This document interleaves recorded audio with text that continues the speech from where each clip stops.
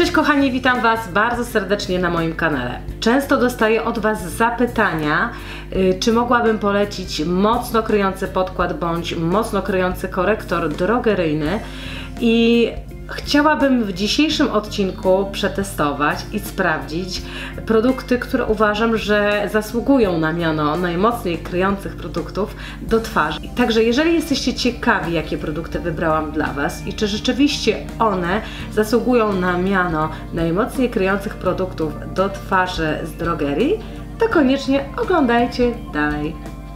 Na twarz nałożyłam już moją codzienną pielęgnację i teraz nałożę bazę do twarzy, która pięknie wyrównuje moje pory i wygładza skórę, a jest to baza The Professional z Benefitu. W codziennym makijażu nie lubię mocnego krycia. Zdecydowanie sięgam po produkty, które mają średnie krycie oraz takie lekkie, naturalne wykończenie. Yy, ze względu na to, że moja skóra jest mieszana, sięgam po produkty, które są trwałe i które nie będą schodziły mi z mojego przetłuszczającego się yy, w ciągu dnia nosa. Podczas zakupów w drogerii trafiłam na podkład, którego producent obiecuje mocne krycie, świetliste wykończenie oraz nawilżenie. Także pomyślałam sobie, że jest to chyba ideał drogeryjny i dlatego postanowiłam go dla Was przetestować. A konkretnie, kochani, jest to podkład od Max Factora Radiant Lift. Mój odcień, y, który wybrałam sobie, jest to 47 Nude. Będę aplikowała ten podkład gąbeczką Beauty Blender i od razu mogę zauważyć, że ten podkład jest bardzo, bardzo gęsty. Na razie nałożyłam jedną pompkę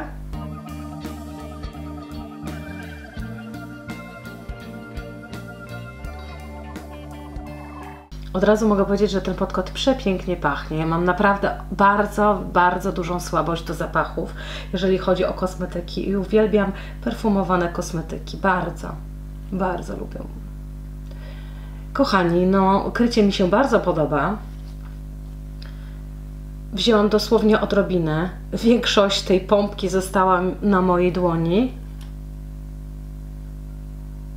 I mam już pokrytą jedną część twarzy. Nakładam teraz na drugą część twarzy. I rzeczywiście udało mi się bardzo ładny kolor wybrać. Jest to taki lekko żółto-brzoskwiniowy odcień. Moja skóra jest naprawdę bardzo, bardzo żółta i zdecydowanie lubię się z takimi, z takimi właśnie ciepłymi tonami.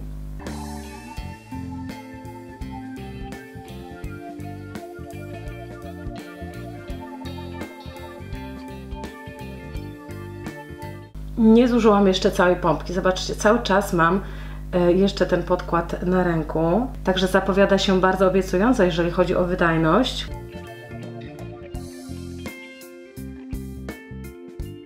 Także nałożyłam już całą pompkę. Sięgam po lusterko i sprawdzam, jak on się prezentuje na twarzy i ja jestem zachwycona w ogóle jak ta cera wygląda.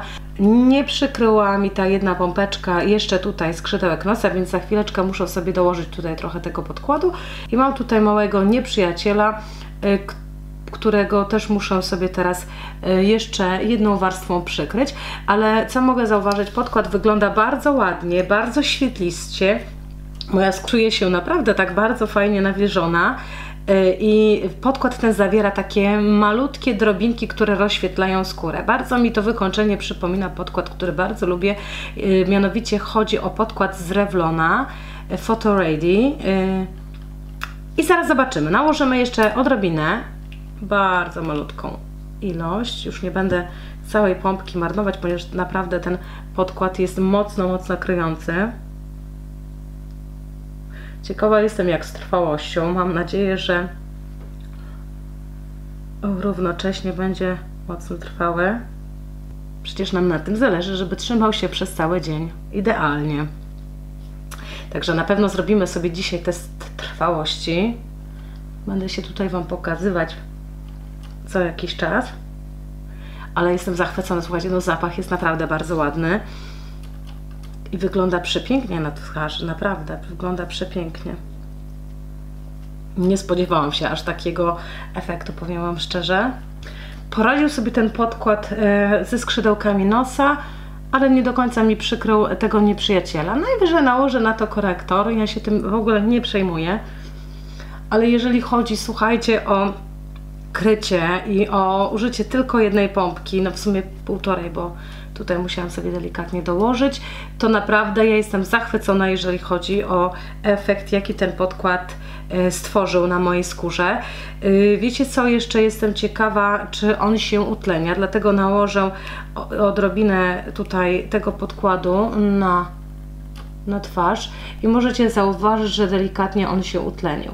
Jest, jest taka no, różnica, także bierzcie pod uwagę fakt, że on może delikatnie Wam przyciemnieć. Efekt mi się podoba, krycie mi się bardzo podoba i najważniejsze jest to, że bardzo ładnie wyrównał mi cały koloryt skóry, a wygląda nadal bardzo ładnie, świetliście i naturalnie. Nie da się ukryć, że mam mocne sińce pod oczami i najważniejszym kosmetykiem dla mnie jest mocno kryjący korektor. Do tej pory sprawdziła się niewielka ilość takich produktów, które jednocześnie mocno kryją, nie przesuszają strefy pod oczami, ale chciałabym znaleźć jakiś odpowiednik z drogerii. I sięgnęłam po korektor marki L'Oreal. Jest to korektor Infallible More Than Concealer. Jestem bardzo ciekawa, czy on poradzi sobie z zakryciem moich sińców. Także nie będę dłużej Was trzymać w niepewności i siebie również. Nakładam go po toczy i zobaczymy, czy poradzi sobie z zakryciem mojego zasinienia. Wybrałam sobie odcień najbardziej taki żółty, jest to kolor 327. Pomyślałam sobie, że będzie to idealny odpowiednik do korektora Tarte Shape Tape w kolorze Light Sand. Tamten też ma taki ładny, lekko żółty odcień. Też bardzo ładnie pachnie ten korektor.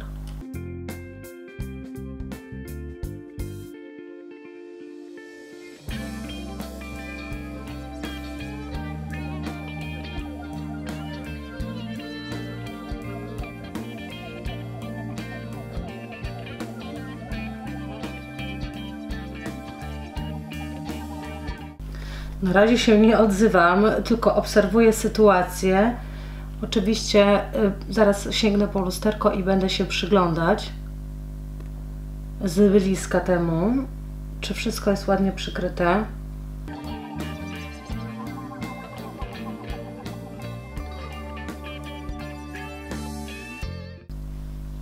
Jak widzieliście, nałożyłam tylko jedną warstwę i ja jestem bardzo zachwycona kryciem, naprawdę.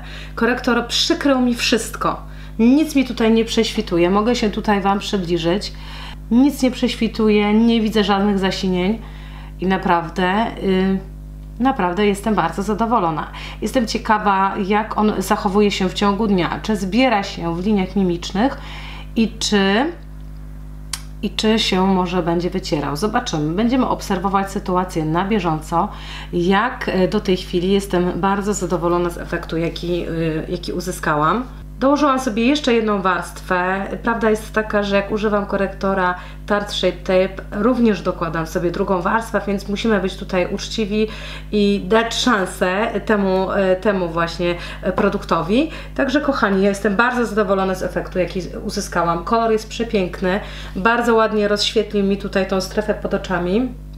Ja nałożę sobie jeszcze ten korektor na nos rozświetlę sobie tą centralną część twarzy na brodę.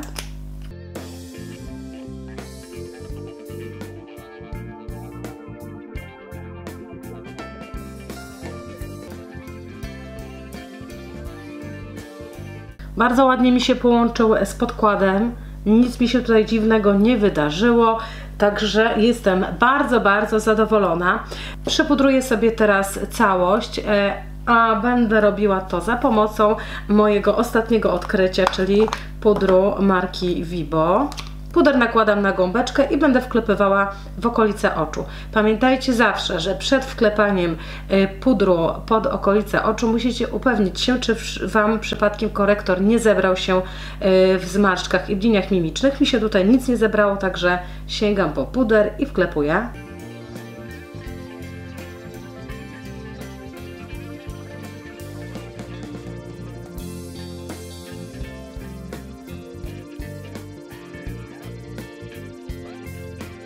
Nałożę sobie taką większą warstwę tego pudru pod oczami, bo zaraz będę wykonywała makijaż oczu, a nie chciałabym, żeby mi się cokolwiek tutaj posypało. Tym bardziej, że jest to y, puder do bakingu, to sobie zrobimy tak zwany baking. Klepię sobie na nos.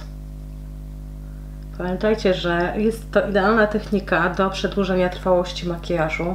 Wklepywanie zwilżoną gąbeczką pudru w miejsca, które Wam się najbardziej wyświecają w ciągu dnia. Chciałabym Wam się przybliżyć, jednak zrobiłam sobie baking i nie zobaczycie teraz fajnego efektu ani korektora, ani y, podkładu. Y, mamy godzinę 13.35 i od tej godziny rozpoczynamy test tych produktów, jeżeli chodzi o trwałość. Ja teraz wykończę sobie makijaż i za chwileczkę do Was wrócę.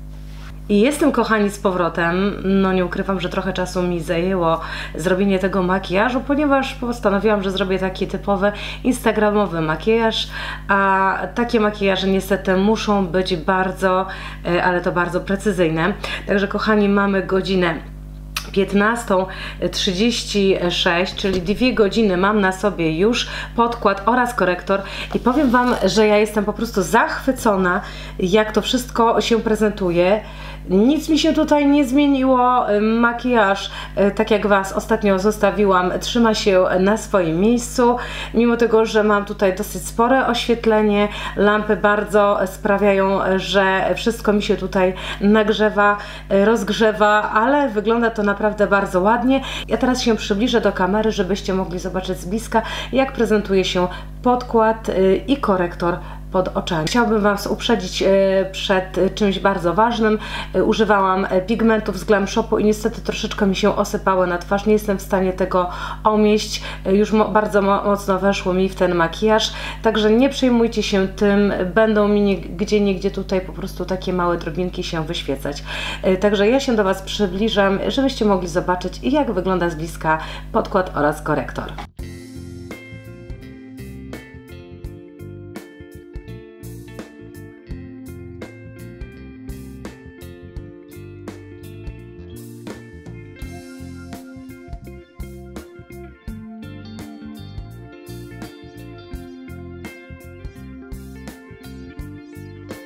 Na pewno będą tutaj pytania, czym wykonałam sobie makijaż oczu. Kochani, jest to paleta Venus XL. Bardzo lubię tą paletę. Zobaczcie, jakie ona ma przepiękne kolory. Są to takie różowe, brzoskwiniowe, bordowe odcienie. Jak najbardziej wpisuje się w kolor roku, czyli Living Coral. Y, bardzo, bardzo lubię po nią sięgać i lubię nią pracować. Y, dobrze, kochani, ja jestem zadowolona z efektu, jaki uzyskałam, jeżeli chodzi o makijaż. Y, o podkład bardzo ładnie wygląda na skórze. Bardzo naprawdę naturalnie. Korektor tak samo wygląda bardzo dobrze. Nic mi się do tej pory nie pościerało, naprawdę wygląda makijaż bardzo, bardzo korzystnie. Także kochani, no zobaczymy jak będzie to prezentowało się po kilku godzinach. Kochani, y, mam na sobie y, makijaż 3 godziny. Chciałabym Wam się pokazać w słońcu, y, w świetle naturalnym. Y, I tak on się prezentuje. Tak naprawdę oślepia mnie słońce, ja nic nie widzę, ale poruszam sobie twarzą, żebyście mogli zobaczyć, jak podkład i korektor wyglądają w świetle takim dosyć mocnym. Y, jest to najlepsze światło do tego, aby y, zobaczyć, jak kosmetyki prezentują się na naszej twarzy.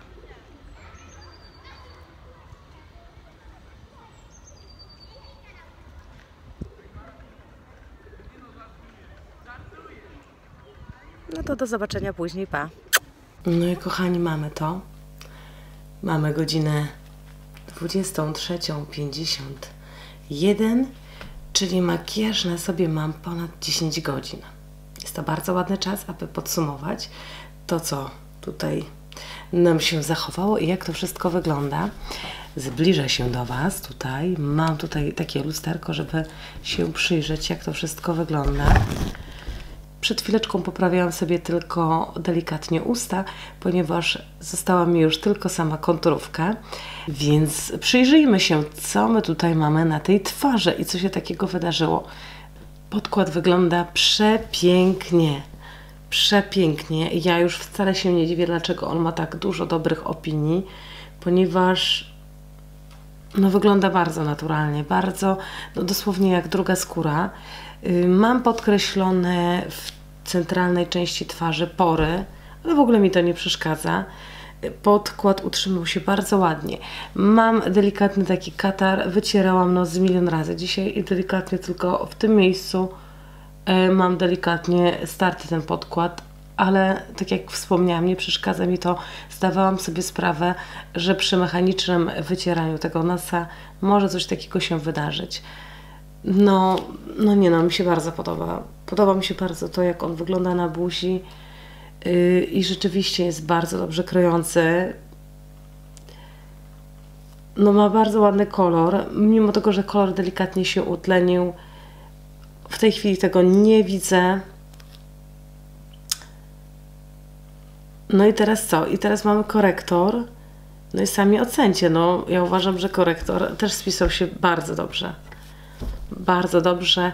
Delikatnie widzę jakieś tutaj prześwity moich zasinień, ale kochani, ja mam go na sobie ponad 10 godzin, więc, więc jak na tak e, długi czas w ogóle mi kompletnie to nie przeszkadza. Uważam, że naprawdę jak na korektor drogeryjny spisał się naprawdę na medal. No, bardzo. W ogóle wszystko mi się podoba tutaj. No ja oczywiście położyłam się, dopiero wstałam przed chwileczką, żeby zrobić dla Was podsumowanie. Położyłam się właśnie podczas usypiania dziecka. Też troszeczkę usnęłam. Delikatnie mi się tutaj cienie rozmazały, ponieważ czułam, że przy tym leżeniu delikatnie oko mi uzawiło, ale nic poza tym. Wszystko jak najbardziej wygląda bardzo dobrze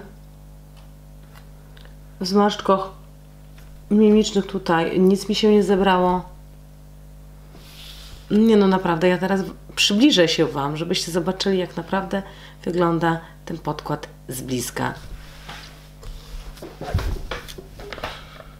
No i oczywiście korektor.